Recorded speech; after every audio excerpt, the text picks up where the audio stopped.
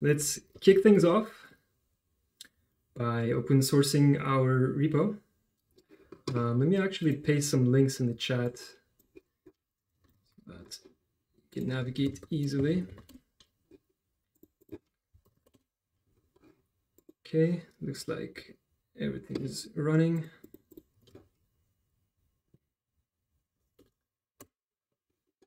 Oops.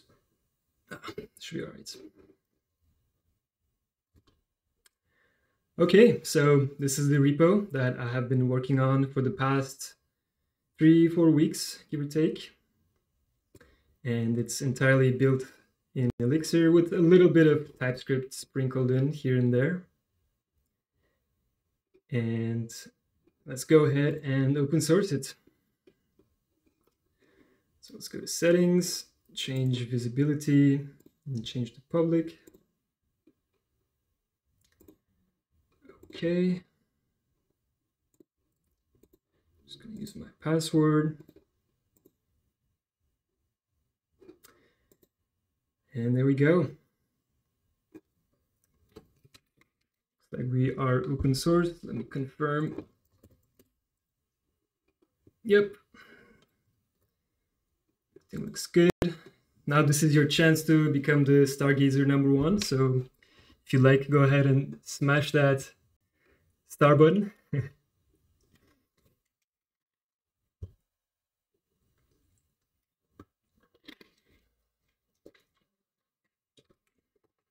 and in the meantime, I would like to look at how we have architected the app. So the bird's eye view, this is, oh, looks like Gerge got the first stargazer, number one. There we go. Sweet. So the app looks looks like this. Let me refresh screen.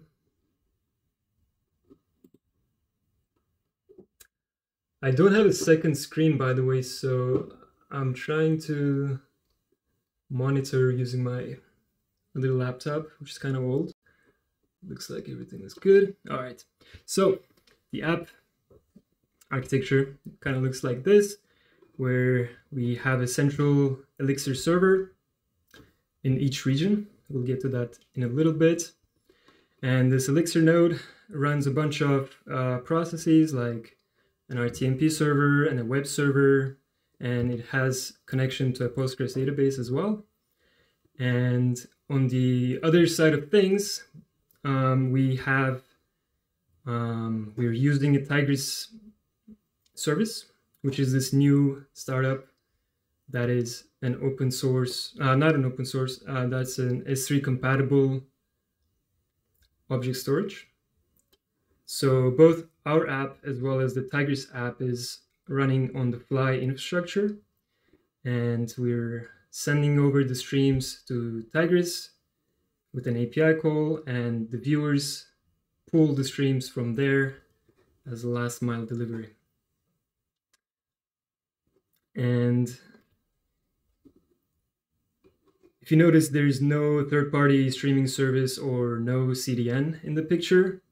That's because Tigris is taking care of all of those things for us, like caching and replication and so on. We'll get to that in a little bit in more detail. But for now, I'd like to pull up my VS Code and take a look at the code a little.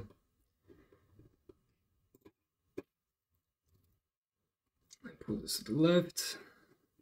The right hand side, we can show this cute graph.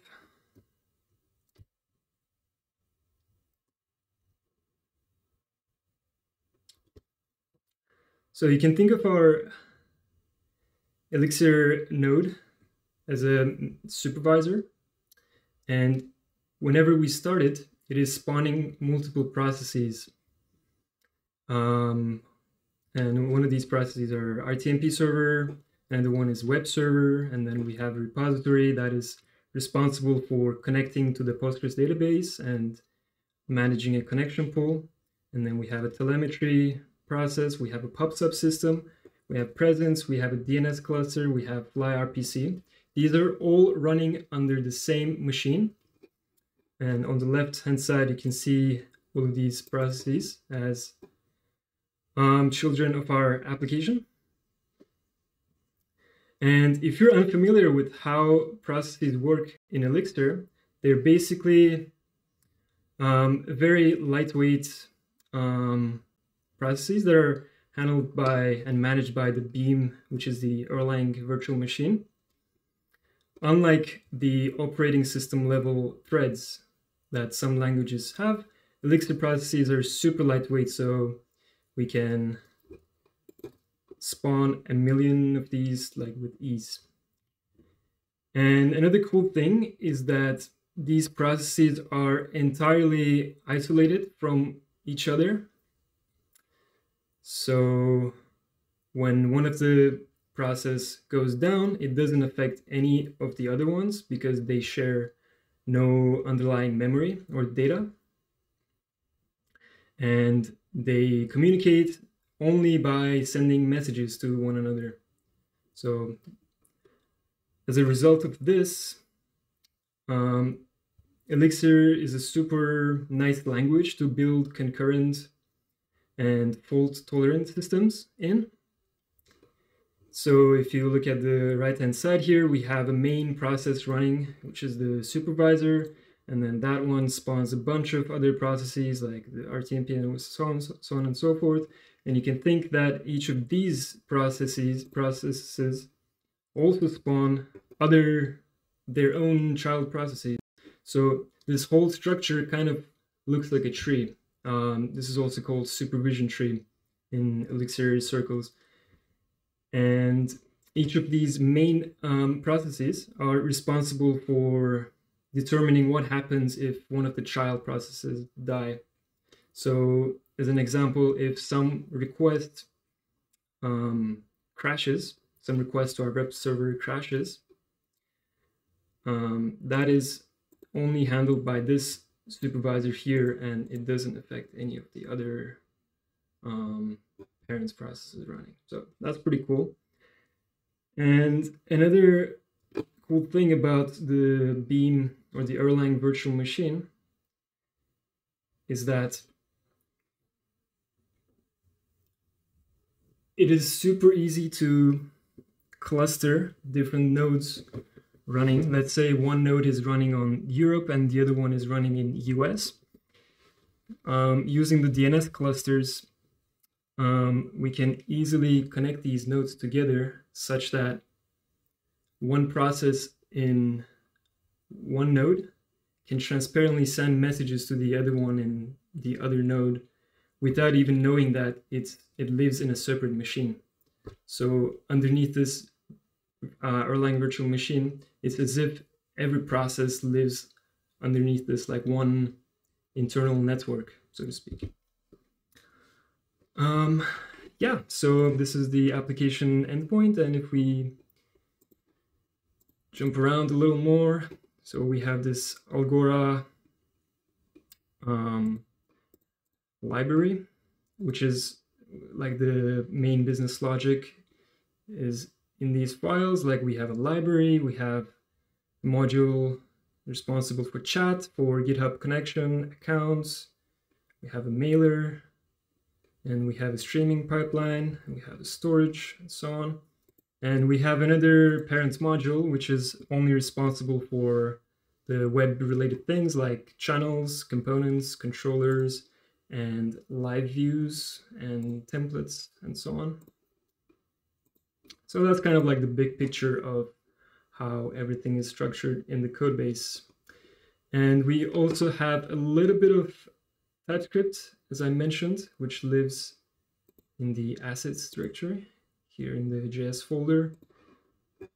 And we have two files, app.ts and user socket, and these are pretty much the only JavaScript that we're using.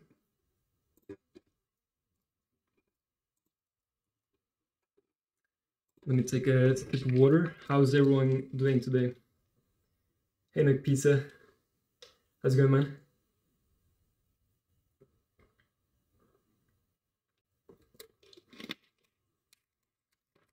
By the way, feel free to interrupt me with questions or comments anytime. Although I don't always see the chat in front of me, I try to look at it every now and then. Cool, so if we zoom back a little more and look at the other star of our system, in addition to Elixir, which is Tigris. So as I mentioned earlier, Tigris is this S3 compatible object storage. And what's really cool about it is that it automatically distributes your data close to your users. So let's say that I am streaming in Europe right now. We have a node running here. And a lot of people are watching me from Los Angeles.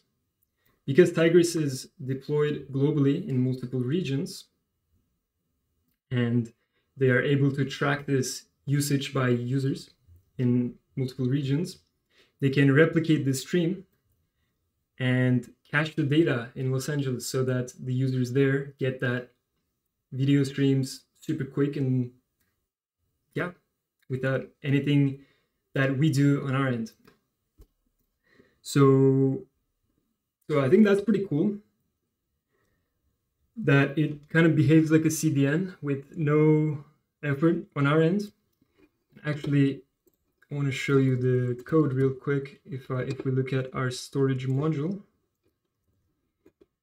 Um, this is the entire code that I have written to upload files to Tigris and everything else like caching, replication, and so on are taken care of by Tigris.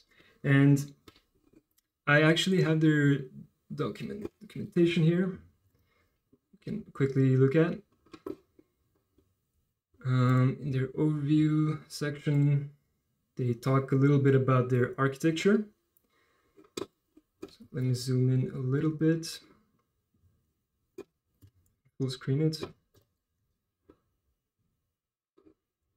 So this is their entire architecture. They're hosted on fly.io, much like we are. And at the very top of the funnel, they have an S3 compatible API. So much like you saw here, you just call the S3 SDK to send objects and also to receive objects from Tigris. And they store the metadata in these Foundation DB clusters, which is super cool. If you're unfamiliar with Foundation DB, there are, I believe, an Apple project that got open sourced a couple years ago, if I'm not mistaken. Anyways, um, so these Tigris workers basically um, communicate with these Foundation DB clusters. They cache your objects in these uh, SSD caches that are deployed globally in these cache nodes in each of these regions. And they also send objects to a large object storage. Um, and if we scroll all the way down, yeah, here we go. So these compute workers basically send the metadata application stream to the Foundation DB clusters, and then they cache the objects, and then they distribute the objects to the block stores. So they take care of all of these things that we don't even need to think about. It's perfect.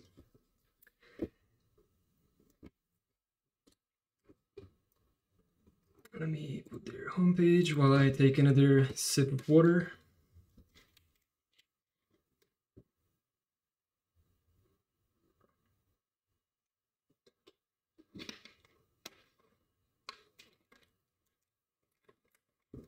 That's awesome. Omar and Gergu. Let's go. All right, so where were we? Yeah, so we did talk about Tigris. We talked about our Elixir application a little bit. And now if we zoom in, zoom out even further, on the global scale, this is how everything looks like. So we have multiple fly regions that our app is deployed in. as well as the Tigris app being deployed in multiple regions. Actually, the Algora TV is only deployed in two regions right now, but I think Tigris is deployed in uh, more than 20, if not even 30. I'm not sure. I think they mentioned that in their documentation. But yeah, so the as you can see, everything is globally distributed, or in our case, it's not really global, but we'll get there eventually. Um, so we have, um, yeah, so we have distributed storage provided by Tigris. We have distributed compute provided by our Elixir nodes that are actually clustered together with each other. So like this node over here in the US East, it's actually make whatever. Um, can send the messages to the process, to the node here, to the processes running in this node here, and vice versa in the EU East. And we also have distributed data provided by our Postgres read replicas, which I'm gonna talk a little bit more about in a little bit. and on the network side, so if we imagine that there's a user here um, in the US region, and then another one here in the EU region, and they both, um, when they type tv.algora.io in the browser, um, this domain gets resolved to the same exact IP address, but this IP address, depending on where you are, um, routes you to the nearest fly region using the fly anycast DNS. So that's how we are able to um, distribute all of the traffic in the world. Oh, hey, Technologic. The Postgres DB in both regions. How are you handling showing chat messages between regions. So there are multiple parts involved here. If you are currently connected to the chat, um, your browser basically makes a WebSocket connection to the nearest node to you. So let's say you're in Europe, um, you make a WebSocket connection to the Algora TV here. And then whenever there's a um, chat message from someone else without hitting the DB that um, gets broadcasted into your WebSocket directly. And if you're looking at the chat, not live, but in the future, let's say you open it up and see the old messages, um, that happens, like I said, using the read replicas here. We have a primary database in US West. Name this in the Los Angeles region. I'm so bad at this. Yeah, so we have a primary database in the US West, and we have a read replica in EU East. So whenever someone sends a chat message, that basically gets inserted into the Postgres database here, and then that gets replicated to this read replica over here using the write ahead log and log sequence number tracking that um, Fly RPC provides over here. I don't know if that answered your question, but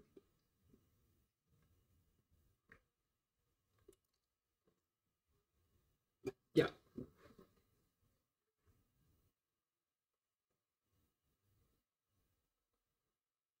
It's okay. I, I don't mind interrupting the flow. I think it's more fun to do it interactive like this. Cool. Is the stream running live for everyone? Let's see.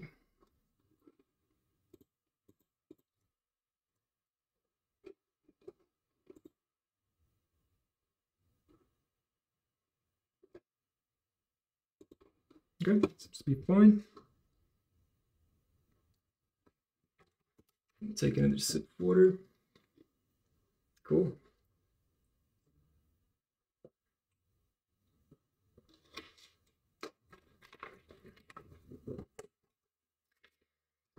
And next up, I would like to. Cool, cool, cool, cool. Um, I would like to zoom back in to the RTMP server over here. And for that, I'm going to pull up my code again, our code again. And let's pull up the pipeline.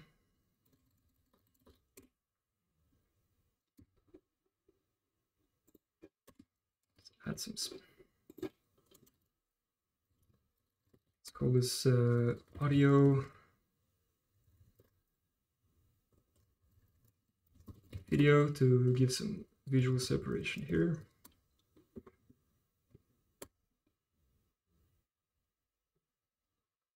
Cool. So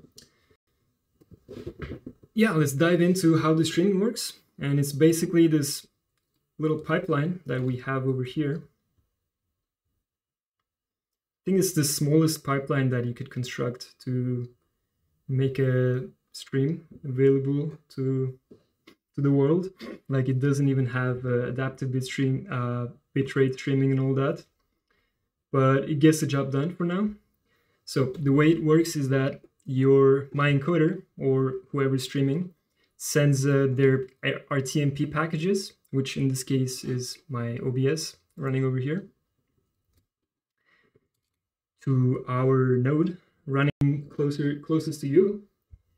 And in there we have um, a demuxer that is splitting these packets into two different channels. Here we have the channel and here we have the video channel and then those get parsed as H264 and AAC.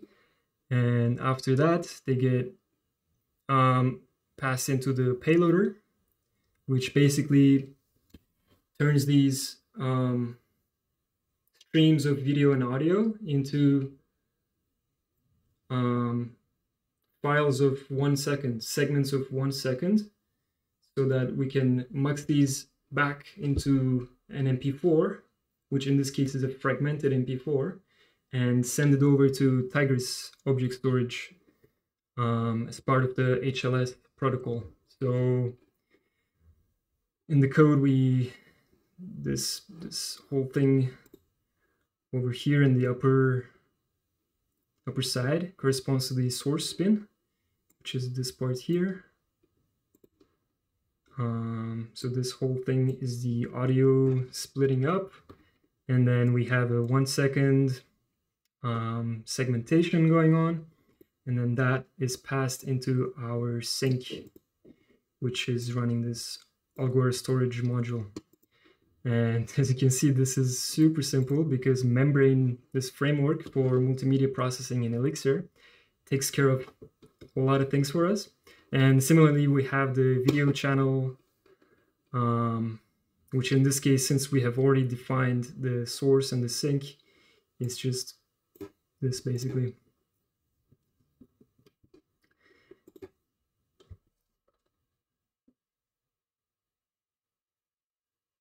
Sounds good, Omar. See you later.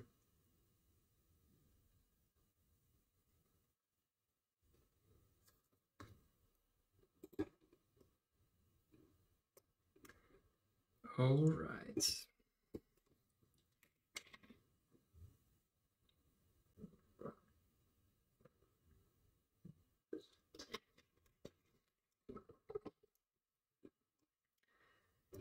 back in here.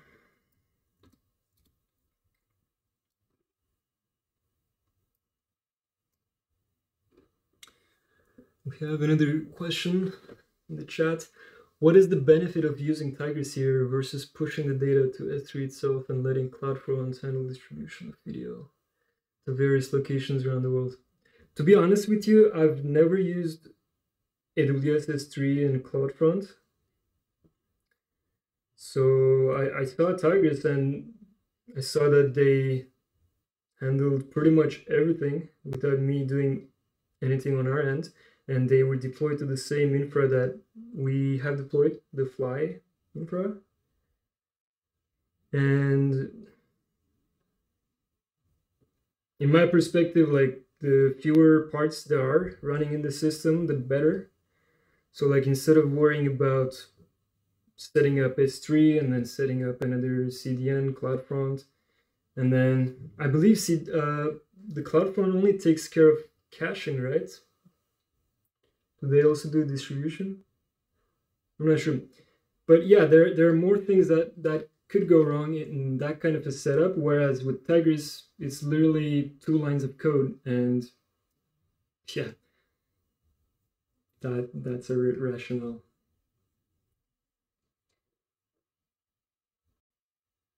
Cool. Take another sip of water. And next up, I actually want to show how all of these different parts come together live using the browser dev tools. Let me pull that up in here and put the network tab on.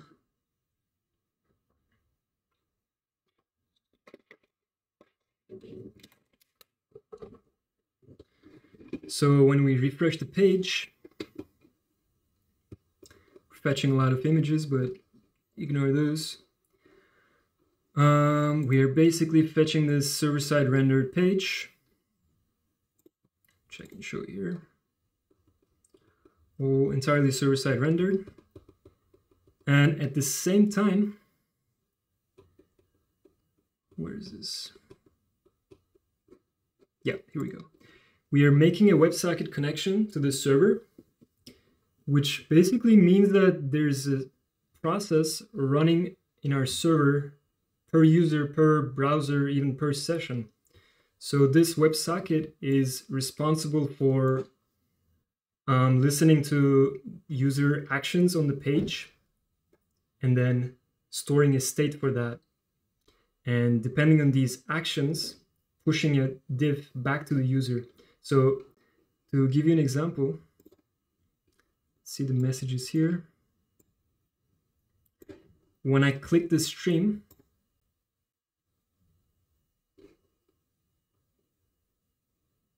after the WebSocket, I think I clicked the wrong one though. There we go, this one. Um, there were no other, there's like no page reload here, but the live navigation was handled by this WebSocket. Let me try to do this again. So filter for this. Yeah, the second one, if I click here, it's gonna send some messages to the server um, phx leave, and then phoenix join. And then it's gonna pass this string to the server that we go to this page. Um, this is kind of making me dizzy over here, so let me put another stream on. Yeah, so, and then the server sends back only the diff that needs to change on the page. So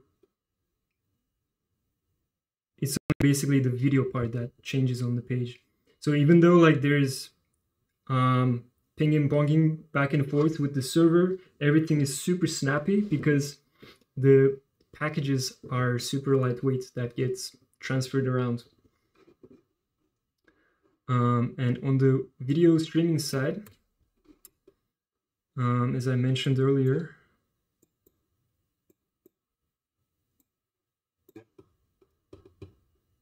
When we load this page, we're going to be fetching a playlist um, from Tigris.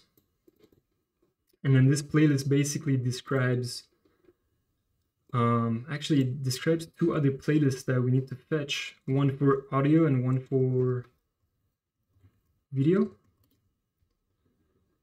And these playlists give us all of the fragmented MP4s that are one second long each so that we can fetch each of these again from Tigris like this. So these are one second segments. And we refresh and click.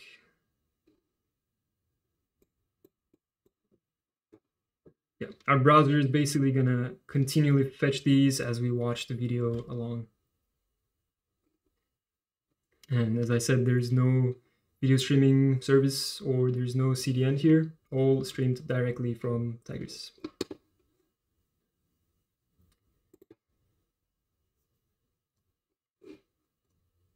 So oh, yeah, that's how it looks like. Oh, and one more thing. Let me go back in here and then try to send a chat message.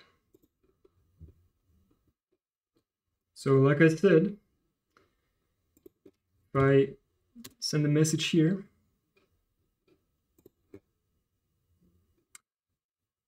Oh, I see. That's the other socket. This so we have two different sockets, one responsible for page level changes and the other one for the chat specifically. And in this, as you can see, there's a new message that I've just sent in this room um, with the body hi. And then after that, the server sent back confirming that it was sent from me and then it sent the body to render in the chat um, window here. So it's super efficient. It's only the div.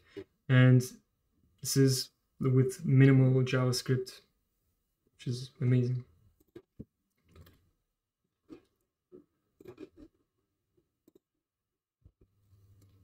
All right, let me close this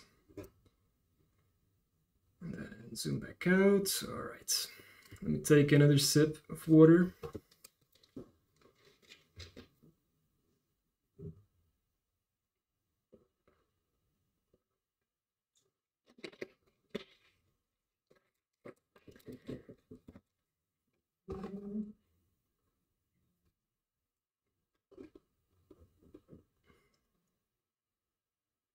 And let me clean up some things here.